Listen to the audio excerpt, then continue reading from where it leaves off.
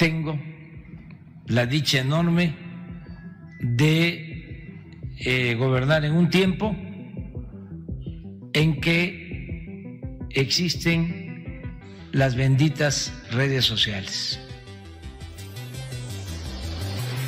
¿Qué más le puedo pedir a la vida? Muy buenas noches amigos de las benditas redes sociales y un saludo a todas las personas que vean este video. Pues amigos, el día de hoy nos encontramos a 24 de septiembre del 2024. Las cosas se ponen candentes en la Suprema Corte de Justicia de la Nación, pues el día de hoy respondió el dientes de burro, mejor conocido como Ricardo Salinas Piego. Me refiero al dueño de TV Azteca y las tiendas Electra. Como ustedes saben, el día de ayer la ministra Loreta Ortiz reveló la forma en la que este magnate pues trató de sobornar a la propia ministra de la Suprema Corte de Justicia para evitar el pago, me refiero obviamente por parte de Ricardo Salinas Pliego, el pago de sus impuestos. O cada vez que hablan conmigo, este, vienen este, y me dicen, por ejemplo, este, antes de empezar, porque fui a empezar como ministra de la Suprema Corte, vinieron del grupo Salinas Pliego y me dijeron, y yo fui la primera que resolví una primera parte y me vinieron y me se acercaron a mí y me dijeron, es que usted necesita que le maneje la, publicidad, o sea, toda la imagen, todo lo demás. No, yo no necesito eso. ¿Era una tentación o creyeron ellos que podría ser una tentación para usted? Así es, así es. Y ya cuando ve, pero sabe uno así se acercan las personas. Esas son las formas de tentar. O te hago la publicidad, o te pago tus boletos para ir a tus partidos de X, Z, Y, Y con tu esposa, o amante, o amiga, y este, te vas a los estadios y a no sé qué. O, sea, o les dan, les y son beneficios que aceptan. Dicen, no, yo soy honesto. Hay otro temor en todo esto, y seguramente usted lo ha escuchado, el de bueno, esta fue la denuncia que hiciera la ministra Loreta Ortiz a través de los medios de comunicación del estado de Tabasco. Esto irritó muchísimo a el dientes de burro porque enseguida a través de un comunicado por parte de Grupo Salinas le responde a la ministra Loreta Ortiz. Señala lo siguiente, ante las evidentes mentiras por intereses político-electorales detrás de las declaraciones de la ministra Loreta Ortiz, es nuestro deber contar la verdad y evidenciar sus verdaderas intenciones. Como si en realidad el dueño de TV Azteca no supiéramos todos los mexicanos cuál es su intención al mandar a personas como Javier Alatorre hablar mal del gobierno y de la 4T.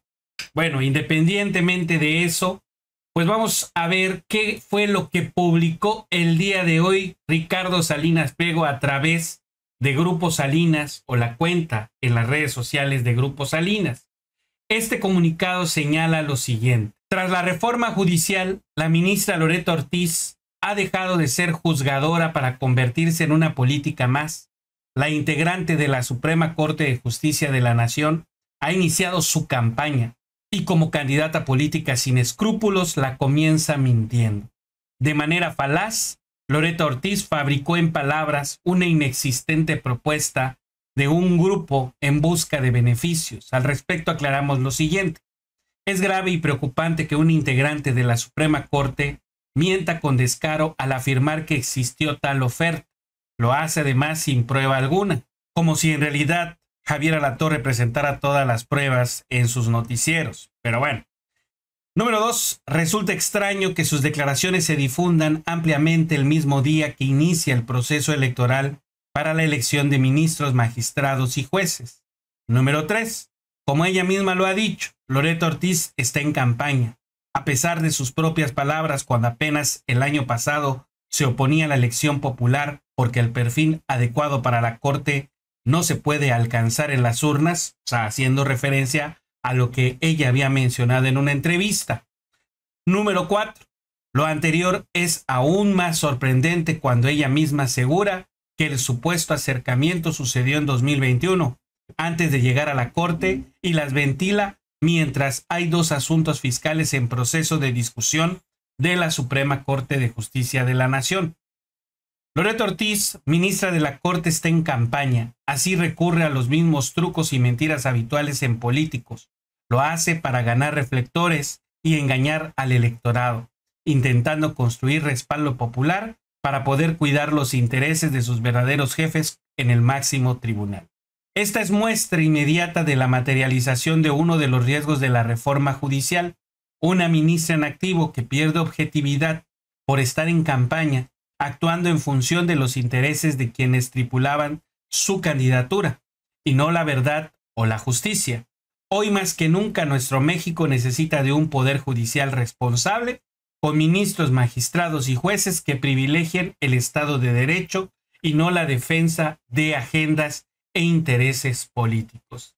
Seguramente como las que defiende o defendió en su momento Javier Alatorre cuando sacaba todas esas mentiras en los reportajes, ¿no? De lo que había sucedido con el huracán en el estado de Guerrero. La verdad es que este comunicado deja mucho que desear porque pareciera que lo está escribiendo el propio Ricardo Salinas Pliego y no una persona que en realidad tratara de comunicar un acto que en realidad nunca existió. Pero bueno, es la forma en la que este personaje se mueve dentro de las redes sociales. No le fue muy bien porque en los comentarios empezaron a señalar las veces en que se ha visto a el ministro Luis María Aguilar en el palco de Grupo Salinas. Supuestamente este lugar pues es muy exclusivo, llega a costar hasta 140 mil pesos. Un lugar tan privilegiado como se lo han designado al ministro Luis María Aguilar. Y si nosotros recordamos lo que había denunciado la ministra Loreta Ortiz, pues resulta que coincide con estas fotografías. La verdad, francamente, esto no es muy buena publicidad para el grupo Salinas, que en este caso pues está en el ojo del huracán porque está siendo denunciado de que trató de sobornar a una ministra de la Suprema Corte, cuando en realidad hay ministros que sí han asistido a esta arena que pertenece a Grupo Salinas, o mejor dicho, a Ricardo Salinas Pliego. Y también recordemos que este fue el ministro que archivó misteriosamente durante meses y meses todos los casos que tenían que ver con el pago de impuestos de Ricardo Salinas Pliego. Francamente, pues no creo que haya sido una muy buena idea contestarle de esta manera a la ministra o la denuncia que hizo la ministra Loreta Ortiz a través de las redes sociales.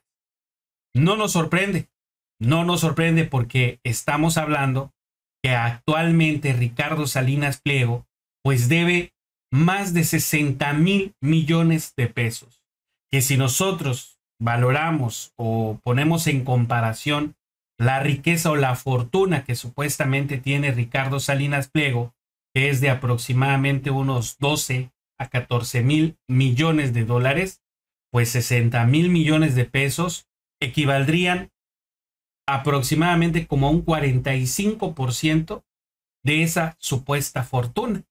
En una de esas, pues a lo mejor no es que en realidad Ricardo Salinas Pliego no quiera pagar esa deuda, sino que no le alcanza para pagar semejante cantidad de dinero. Pero como a los anteriores presidentes le permitían exentarle o lo exentaban del pago de los impuestos, pues se le fueron juntando, se le fueron juntando y pensó que por apoyar al presidente López Obrador, porque fue uno de los empresarios que apoyó al presidente López Obrador, pensó que las cosas se iban a mantener igual o en una de esas hasta le hacía borrón y cuenta nueva. No sucedió y de ahí es donde viene la molestia directa de este empresario Ricardo Salinas Pliego en contra del presidente López Obrador. Y por lo visto ahora también la agarra en contra de las ministras o los ministros de la Suprema Corte de Justicia de la Nación que se han atrevido a hablar en contra de este personaje, porque al final de cuentas es un soborno lo que trató de hacer Ricardo Salinas Pliego al ofrecerle esta supuesta publicidad o manejo de las redes sociales a la ministra Loreta Ortiz. Pues amigos, esa es la información que yo tengo por el momento. Espero que les haya gustado. Si les gustó, por favor, denle like a este video. Déjenmelo en los comentarios qué piensan en referencia a todo esto. Los invito también de igual manera a que me sigan a través de mi cuenta de Twitter. Me pueden buscar como el Domínguez, arroba express con doble S abajo MX. Y de igual forma los invito a la página de Facebook de las benditas redes sociales. Nos estaremos viendo en un siguiente video. Que pasen una excelente noche. Saludos. Bye bye. Suscríbanse al canal.